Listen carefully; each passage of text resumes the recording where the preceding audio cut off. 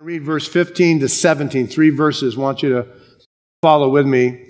Paul says, Let the peace of God, some translations have Christ, rule in your hearts, to which you are also called, into one body, and be thankful. Let the word of Christ dwell in you richly in all wisdom, teaching and admonishing one another in psalms and hymns and spiritual songs, singing with grace in your hearts to the Lord. That's a thankful heart as well. And whatsoever, verse 17, you do in word or deed, do all in the name of the Lord Jesus, giving thanks, there it is again, to God and the Father by Him. Someone once said, and I love it, the best way to know that you're carrying a full bucket is wet feet. You ever carried a bucket and it's to the brim filled and it's splashing all over your feet? Well, the same is true of our life. When our lives are full of Christ, they will overflow onto others around us and they will get wet. People will be able to tell that your life is overflowing with Christ. So, Paul has commanded us to put off the grave clothes and to put on the grace clothes in verses 8 to 14. I want you to notice that in verse 8, put off all these anger, wrath, malice, blasphemy filthy communication. Put these out of your mouth. Lie not one to another, verse 9, seeing you put off the old man with his deeds. So we're to take off the old life, and then notice we're to put on the new, verse 10, put on the new man, which is renewed after the knowledge of the image of him who created him. And he tells us in verse 12 to put on, therefore, as the elect of God, holy, beloved, bowels of mercies, kindness, humbleness of mind, meekness, and long suffering. And we're to forbear with one another, forgiving one another.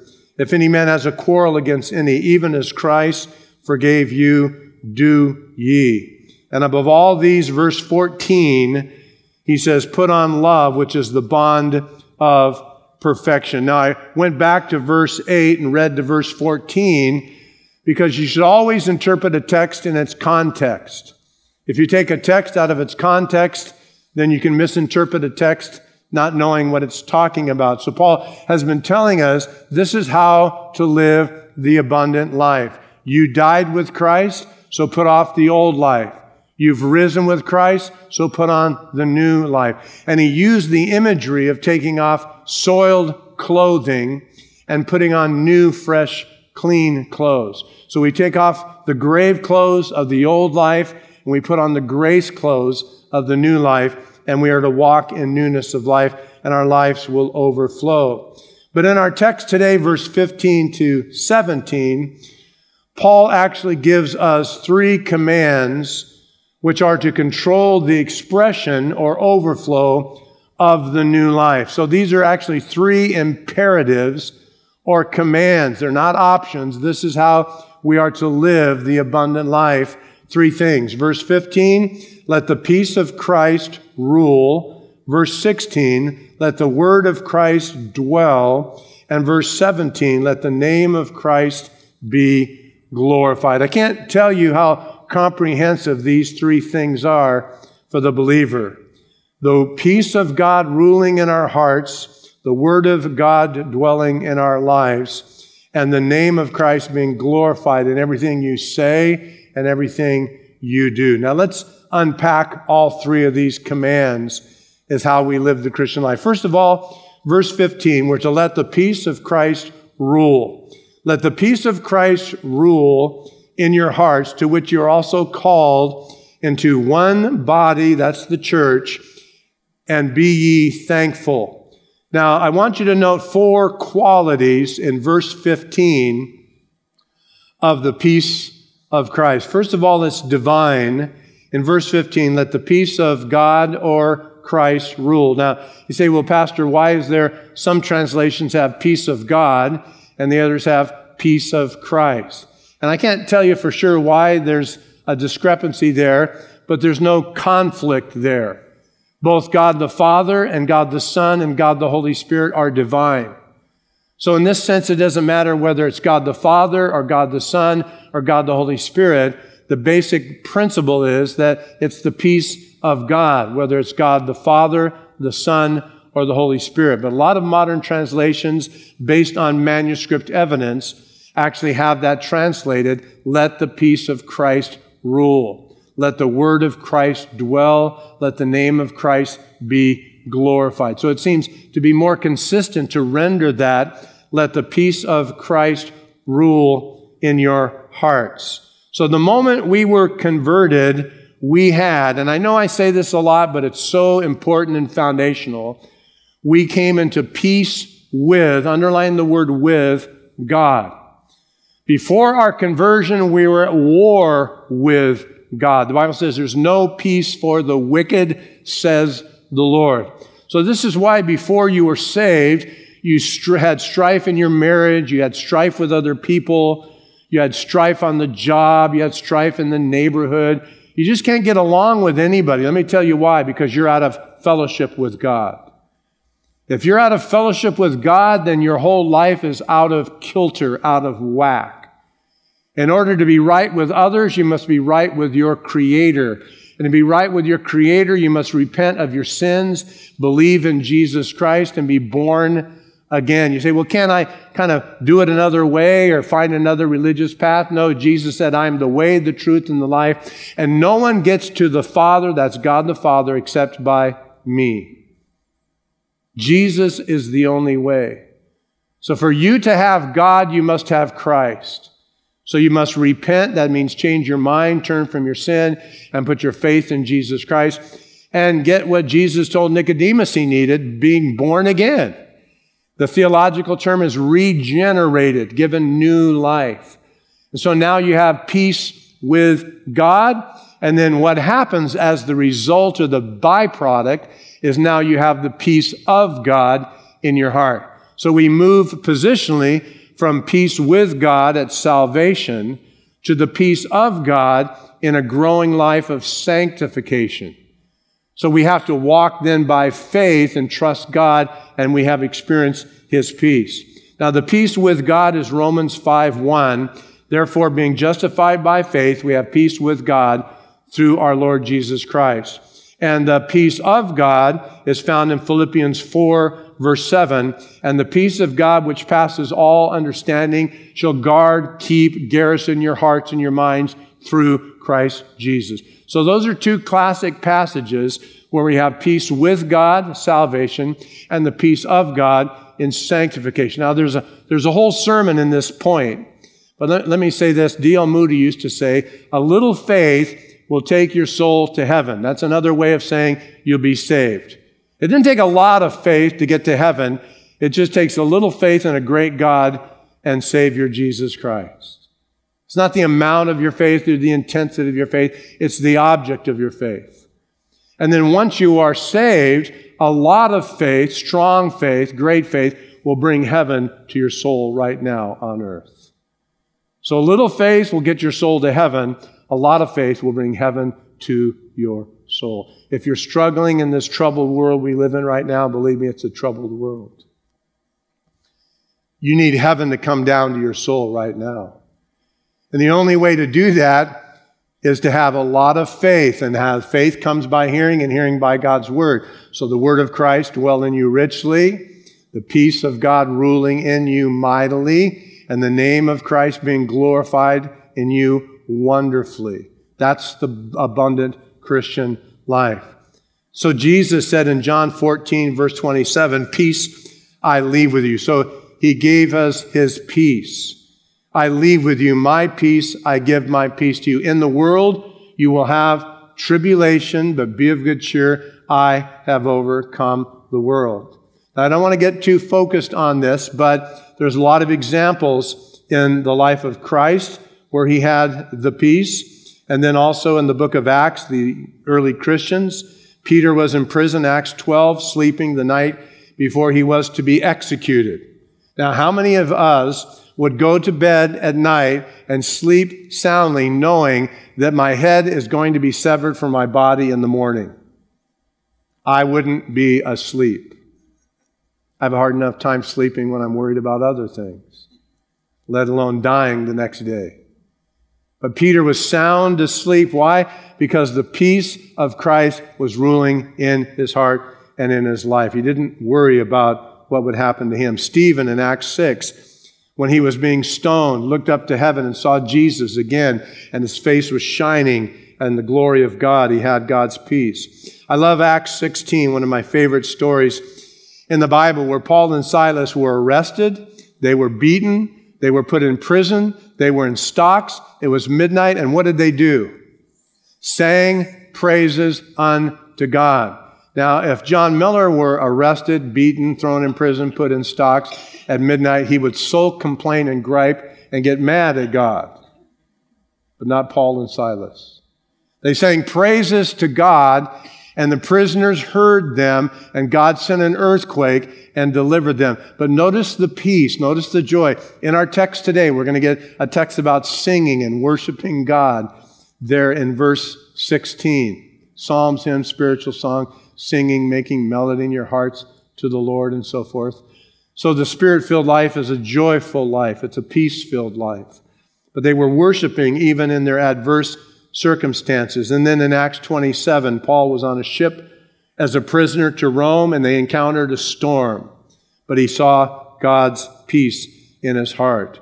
Paul was writing these words in verse 15 from where? A prison in Rome. Now, technically, it was a hired house, so he was under house arrest, but he was chained to a Roman soldier, and he was under arrest, waiting trial, possibly even death. But yet he says, Let the peace of Christ rule in your heart and in your life. What a glorious experience that is for the believer. But notice it's not only a divine peace, it's a ruling peace in verse 15. It's to rule in your heart. What does that word rule mean? The word rule means it's actually an athletic term. It means to act as umpire. So it's to act as umpire, it's an officiant. It means God's peace should arbitrate all our activities and our decision, not our anger, not our passions, but God's peace. God's will, God's peace, as is found in God's word. Now, this is the subjective way God will lead us. Is it right? Is it wrong? Should I go this way or that way? The peace of God. If it comes from above, it's peaceable. So we have to say, God, give me your peace, guide me by your peace, help me discern your will. But at the same time, we get the next verse, we have to let the word of Christ dwell in us richly because God's peace will never lead us contrary to God's word. Don't forget that. God's peace will never lead you contrary to God's word. I can't tell you how many times I've had couples come into my office, well, I want a divorce. Why? Because I found this other person and I have a peace about it. God's given me a peace that I'm to divorce my husband or my wife, and I found this other person and we have a really great chemistry and I feel a peace about it. I think you do not have a peace. Well, yes, I do. No, you don't because it's contrary to God's word. That's like saying, I have peace about robbing the bank right now. Let's pray. Lord, as we go to rob the bank, watch over us, keep us. Just let it go smooth for your glory.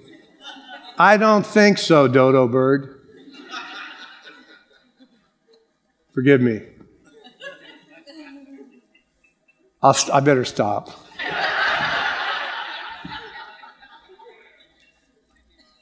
I've had people look right at me, oh, Pastor Mill, I know it's God's will because I feel it in my heart. This is what the Bible says. It's right here in God's word. Oh, I know the Bible says it, but I, I, just, I just have a peace in my heart. No, no, no, no. It's like the fellow that prayed, Lord, should I do this or that? And then he answers himself back, Do whatever thou wantest, my child. I don't think so. Open your Bible Get God's will for your life and then align that with God's peace and then throw in another way to know God's will circumstances. But you have to guide everything by the Word of God because circumstances can be deceptive. Emotions and feelings can be deceptive. But God's Word is objectively true. If you want to know God's will, if you want to live a blessed life, just get into God's word. And I'm getting a bit ahead of myself because these are all intertwined. That's verse 16. But it rules in our hearts or makes decisions or is an arbitrator. And then thirdly, notice this peace is a peace of unity, verse 15, to the which also you are called in one body. Now, why, why would Paul throw that in there?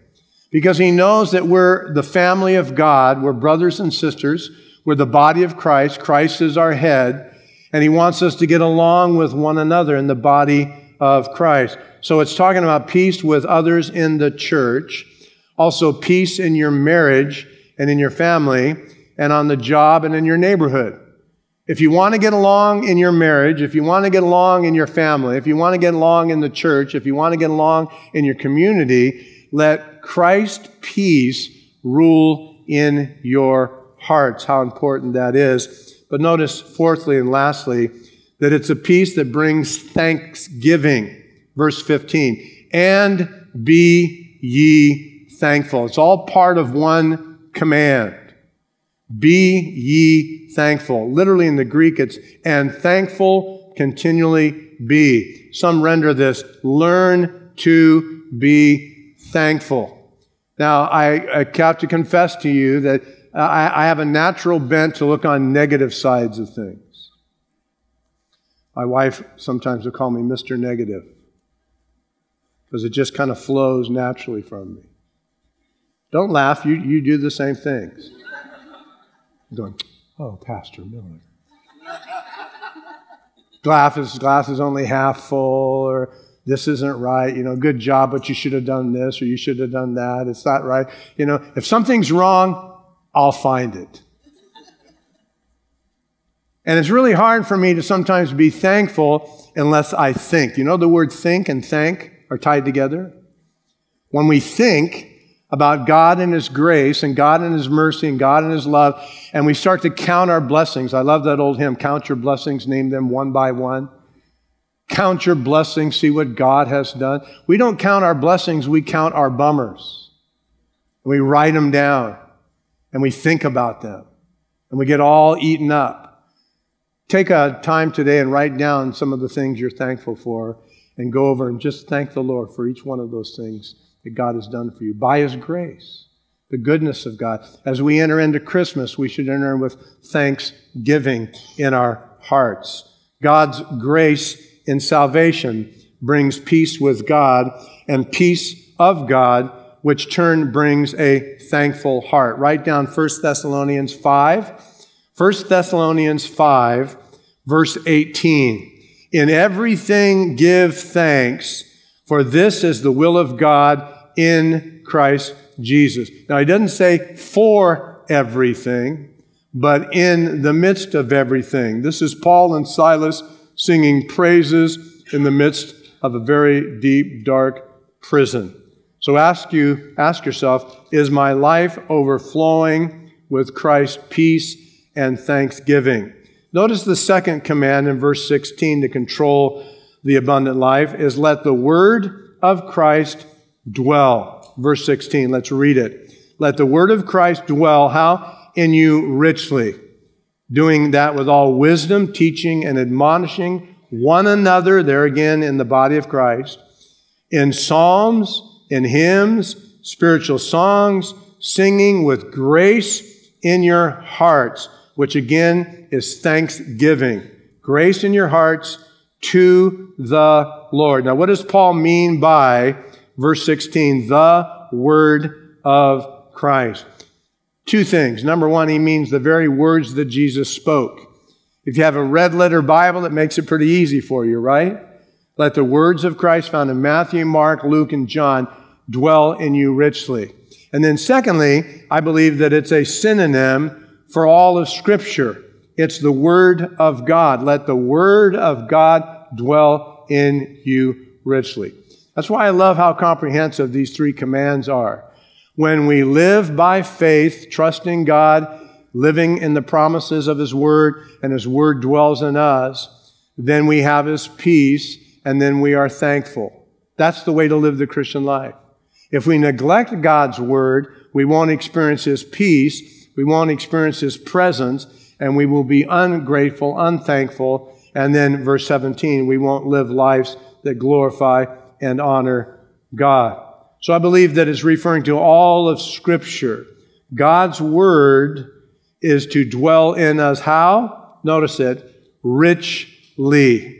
Now, the word dwell literally means to be at home.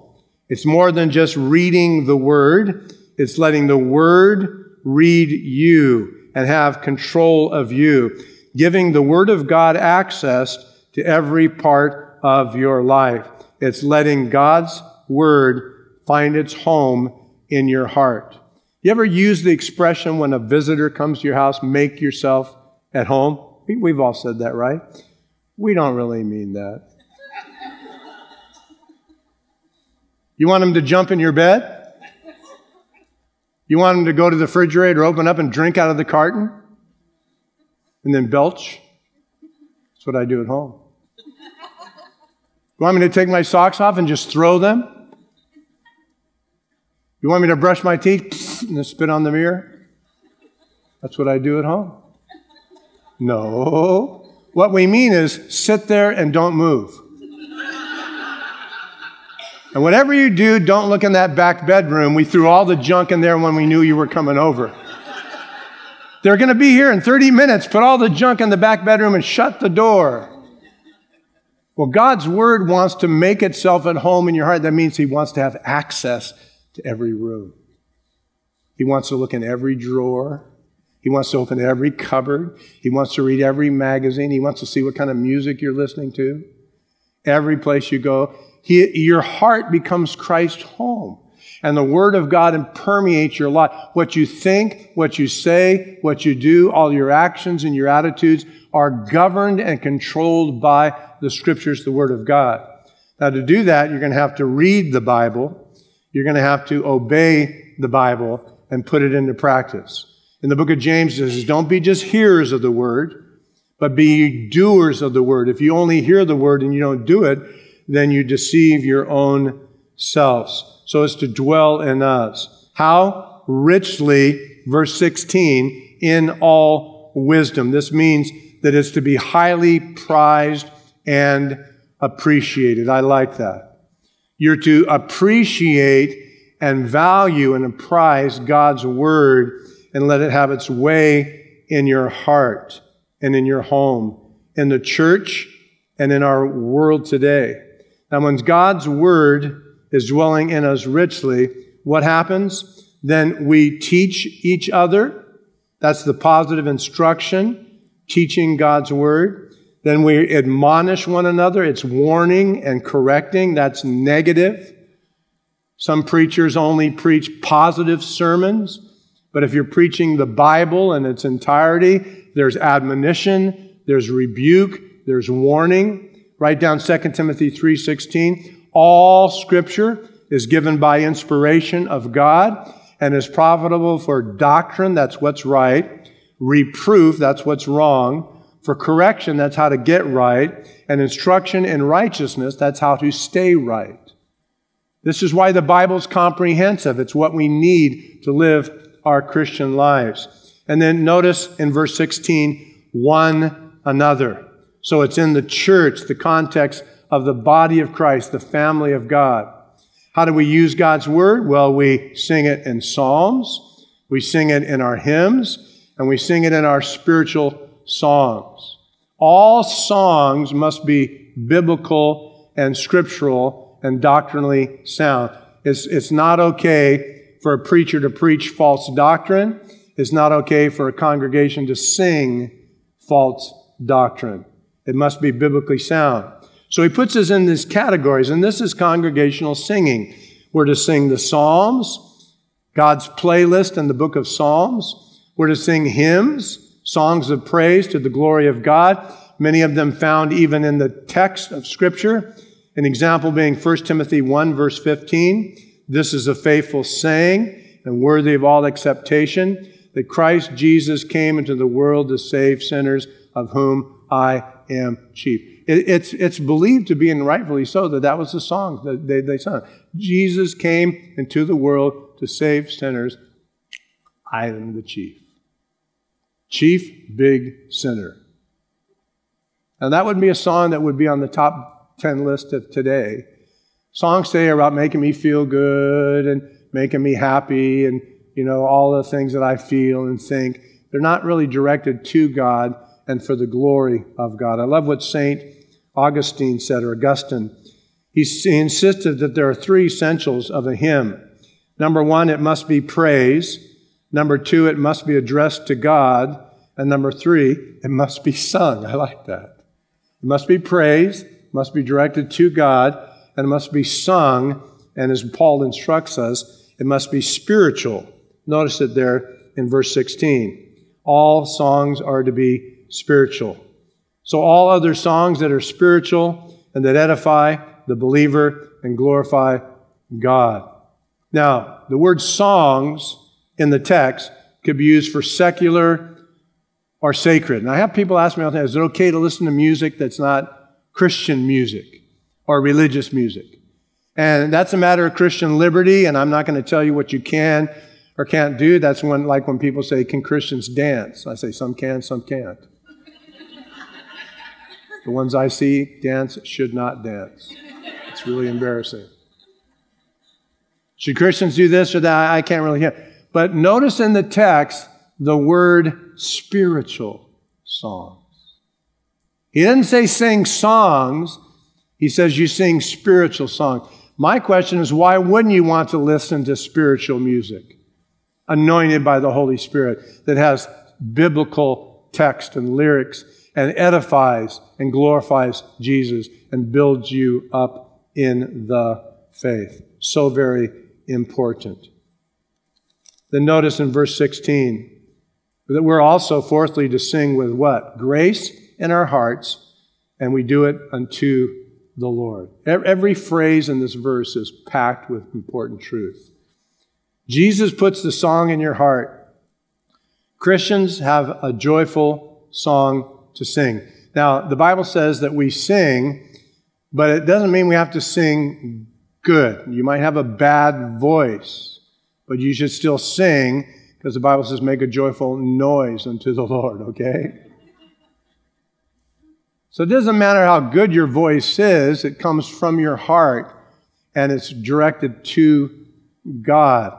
All the great revivals in the church's history involved revivals of singing.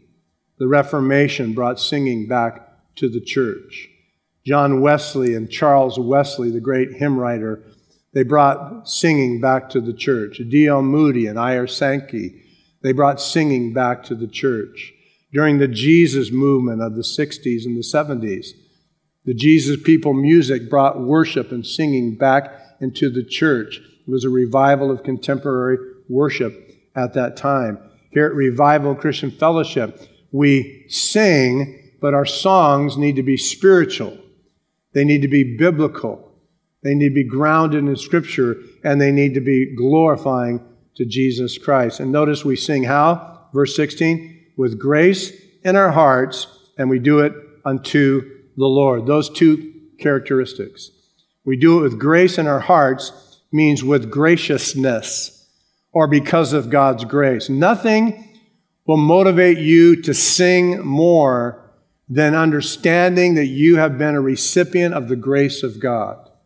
Grace is unearned, undeserved, unmerited favor. You understand God's grace, it's going to set your heart singing. When you understand that God saved you by His grace, your response will be to worship Him with grace in your hearts, or gratitude or thanksgiving to God. And you do it as unto the Lord. When we sing on Sunday morning, Wednesday night, and other times when we congregate, we're, we're not singing to one another. We're not singing to be impressed, impress others. We're singing to the Lord. We have an audience of one. So it's living in a thankful dependence upon God's grace with a song in your heart. And Jesus said in John 4 that they should be spiritual and they should be in truth. Now, write down a great cross reference. We won't turn there, but write down Ephesians 5, verse 18 to 21. Ephesians 5, 18 to 21. And I'll read it too. Listen to what Paul said. And by the way, he wrote Ephesians the same time he wrote Colossians. from the same prison cell during the same period of time, one to Colossae, one to the Ephesians. He said in Ephesians 5:18, "Be not drunk with wine, wherein is debauchery, but be filled or controlled by the Spirit." So we have the peace controlling our lives. We have the Word of God controlling our lives. Now we have the Spirit of God controlling our lives.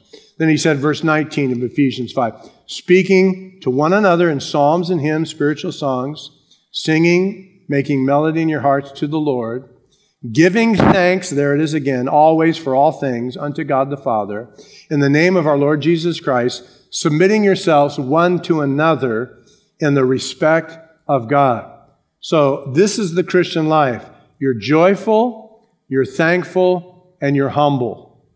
Joyful, thankful, and humble. What is a Christian? Joyful, thankful, and humble. Because the Word of God, the peace of God, and the glory of God are controlling their hearts and their lives.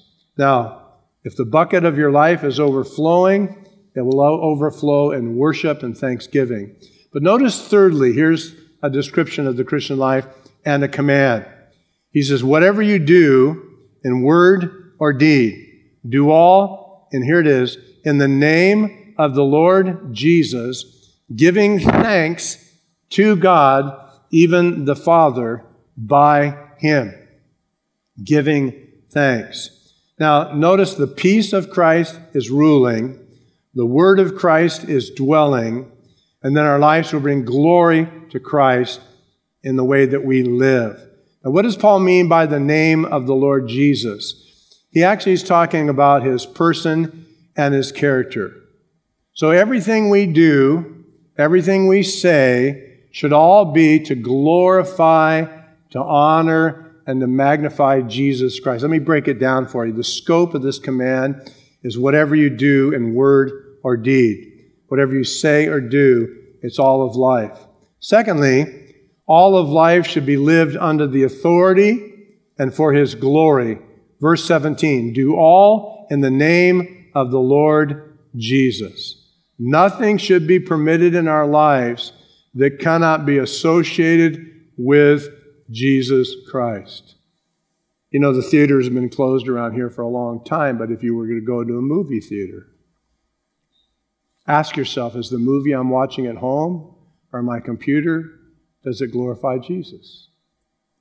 If you were to go to the theater to see a movie and Jesus were riding in the car with you, would you say, Jesus, I think you should stay in the car. I'll come back after the movie. I don't think you want to see this. Or if you're sitting in the theater and you look over and Jesus is like this, then maybe you're in the wrong place. Ask yourself what I think, what I say, what I do, how I feel? Does it glorify Jesus? Is he pleased? Does it bring a smile to his face? If that motors you or motivates you, then you're going to be living the abundant life to the glory of God. Notice, thirdly, that all we do should be done with thanksgiving to God our Father. And I, and I do believe that all three verses have reference to being thankful. Verse 15, be thankful. Verse 16, singing with grace in your hearts to the Lord. And verse 17, giving thanks to God the Father by Him. If there's anything that is a barometer or an indicator of your spirit filled life, it will be a thankful heart. A spirit filled Christian is a thankful Christian, giving thanks to God and the Father by Him. Literally in the Greek, it's becoming thankful. And notice in the context, as God is our Father, thanking Him for loving us, saving us, providing for us, taking care of us. If He feeds the birds, Matthew 6, He'll feed us. If He closes the, clothes the flowers, He'll clothe us. He'll take care of us. He's our Father in heaven. So, let the peace of Christ rule in every area of your life. Let His Word dwell, settle down, and be at home in every area of your life. And let His name be glorified in every area of your life. And go back with me to verse 4.